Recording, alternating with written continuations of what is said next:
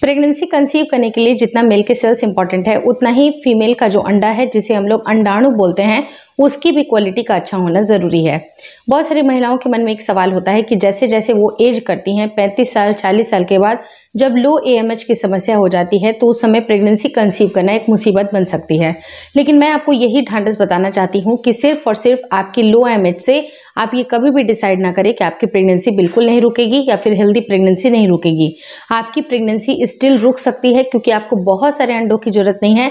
सिर्फ़ एक अगर स्वस्थ अंडा अगर आपके लिए प्रिपेयर हो जो कि प्रेगनेंसी के लिए आपको कंसीव करा सके वो अंडा आपके लिए इंपॉर्टेंट है और अगर आपकी लो एएमएच है, यानी कि आपके शरीर में अंडे का रिज़र्व अगर कम हो रहा है, उस टाइम पे भी आप अपने डाइट के ऊपर कुछ चीज़ों के ध्यान में रखती हैं या बहुत सारी चीज़ें इंक्लूड करती हैं और कुछ ऐसी चीज़ें हैं जो कि अनवांटेड है, उसको रिमूव करती हैं तो अंडे की क्वालिटी जो बची हुई है वो इम्प्रूव हो सकती है क्योंकि जितने भी नंबर बचे हों, चाहे वो कम ही संख्या में बचे हों, अगर उनकी गुणवत्ता अच्छी है तो उससे भी प्रेगनेंसी कंसीव किया जा सकता है। वीडियो काफ़ी इन्फॉर्मेटिव है प्लीज़ शुरू से लेकर लास्ट तक ज़रूर देखिएगा। नमस्कार दोस्तों, मेरा नाम हर्षिता वर्मा है और आपका मेरे चैनल ट्वेंस माई वर्ल्ड पर बहुत बहुत स्वागत है। बेसिकली होता क्या है कि जब अंडे की क्वालिटी की बात आती है तो सबसे पहले आपको डाइट का ख्याल रखना है। उसमें से भी प्रोटीन का आपको ज़रूर ध्यान रखना है, क्योंकि प्रोटीन युक्त जो चीज़ें अगर आप लेती हैं, उससे आपके अंडे की क्वालिटी बिल्कुल नेचुरल तरीके से आपकी इंप्रूव होती है। चाहे वो मिल्क सेल्स की क्वालिटी हो या फिर अंडाणु की बात की करूँ मैंने तो आपके प्रोटीन का इंटेक काफ़ी अच्छा होना चाहिए। तो प्रोटीन के जितने भी सोर्सेस हैं, आपको ज़रूर लेनी चाहिए। दूसरा एक फल काफ़ी ज़्यादा प्रचलित है, आपको पता है एवोकेडो एवोकेडो को एक सुपर फ़ूड के रूप में कंसिडर किया जाता है। अगर आप एवोकेडो भी दिन भर में एक एवोकेडो या दो दिन पे एक एवोकेडो भी अगर आपने लेना है स्टार्ट कर दिया उससे भी बहुत हद तक आपकी कंसीव होने के चांसेस बन सकते हैं क्योंकि उससे अंडे की क्वालिटी बेहतर होती है। लेकिन हर किसी के पास एवोकेडो खरीदने का इतना पैसा नहीं होता है अफोर्ड नहीं कर सकती हैं या उनके रीच में इतनी ज़्यादा नहीं होती है। क्योंकि बड़े बड़े शहरों में तो सुपर में अवेलेबल होते हैं, लेकिन छोटे शहरों में आपको एवोकेडो पूरे टाइम सब्ज़ी मार्केट में नहीं मिलने वाला है।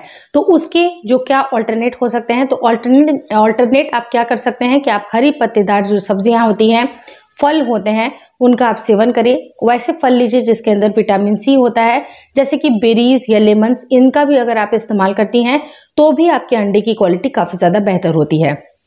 थर्ड इंपॉर्टेंट चीज़ है कि आप सीड साइकिलिंग को सर्कुलेट कर सकती हैं। सीड साइकिलिंग के ऊपर सेपरेट मैंने एक वीडियो बनाई है तो उसको आप ज़रूर जाके देख लीजिएगा। हो सकेगा तो मैं उसकी लिंक मैं एंड स्क्रीन पर ड्रॉप करूँगी तो उसको ज़रूर देख लीजिएगा कि सीड साइकिलिंग भी आपको कितना हेल्प करती है आपके अंडे की क्वालिटी को बेहतर बनाने के लिए, या फिर जिनको पीरियड्स में प्रॉब्लम होते हैं, जिनको इरेगुलर पीरियड आते हैं, या जिनके पीरियड्स में काफ़ी ज़्यादा क्लॉटिंग होती है, जिनको हार्मोनल इश्यूज़ है, उनके लिए काफ़ी रामबाण उपाय है, जो कि सीड साइकिलिंग के लिए काफ़ी ज़्यादा मदद हो, मिलती है। अब थर्ड इंपॉर्टेंट चीज़ क्या होती है कि सीड्स में ही इंक्लूड होता है सेसमे सीड तो जिनको अगर बाकी सीड्स की नॉलेज नहीं है तो वो सिर्फ़ और सिर्फ़ अगर तिल के बीज का भी इस्तेमाल करती हैं, या अगर तिल के बीज नहीं ले सकती हैं, या उसके साथ ही साथ अलसी के बीज लेना शुरुआत कर दें। यानी कि फ्लैक्स सीड को भी आप लेना अगर शुरुआत कर सकते हैं, या तिल के बीज को भी, अपने डेली लाइफ में अगर आप इंक्लूड करते हैं खाते हैं, उससे भी आपके अंडे की क्वालिटी काफ़ी ज़्यादा बेहतर बनती है। तो इस तरह की चीज़ों को इस्तेमाल आपको ज़रूर करना चाहिए। और कोशिश करें कि आपको पानी का पर्याप्त मात्रा में आपको पानी ज़रूर पीना चाहिए, जो कि फोर्थ पॉइंट है। क्योंकि अच्छे मात्रा में अगर आप पानी पीती हैं तो जितने भी टॉक्सिन्स अगर आपकी बॉडी में बन रहे हैं, इन टर्म्स ऑफ़ अगर आप फिब्रॉयड है या कुछ ना कुछ अगर गंदगी जो आपके आंतों में जमा होती है, वो धीरे धीरे करके पानी के द्वारा फ्लश आउट होती है और जितना आपकी बॉडी डिटॉक्सीफाई होगी, उतना आपके ब्लड सर्कुलेशन काफ़ी अच्छे होंगे और अंडे की क्वालिटी भी अच्छी बनेगी। क्योंकि रिप्रोडक्टिव अंगों में अगर ब्लड का सर्कुलेशन अच्छा बनेगा तो उनकी जो फंक्शनिंग है, वो काफ़ी अच्छी होती रहेगी। तो आप बॉडी के जो ब्लड का सर्कुलेशन है, उसको अच्छा बनाने के लिए फिफ्थ इंपॉर्टेंट चीज़ क्या होती है कि आपको गार्लिक का इस्तेमाल ज़रूर करना चाहिए।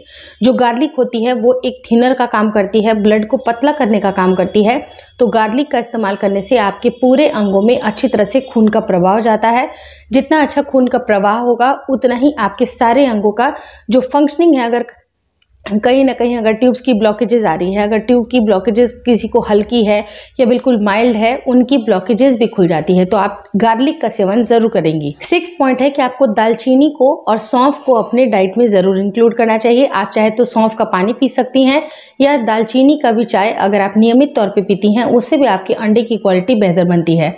होपफुली इस वीडियो में दी गई जानकारी आपको अच्छी लगी और कुछ कुछ जो फ़ूड आइटम है वो आपको रिमूव करने हैं, वो है चाय कॉफ़ी का इंटेक करना। जंक फ़ूड का सेवन करना, बहुत ज़्यादा मैदे वाली चीज़ें नहीं लेना है आपको शुगर वाली चीज़ें नहीं लेनी है।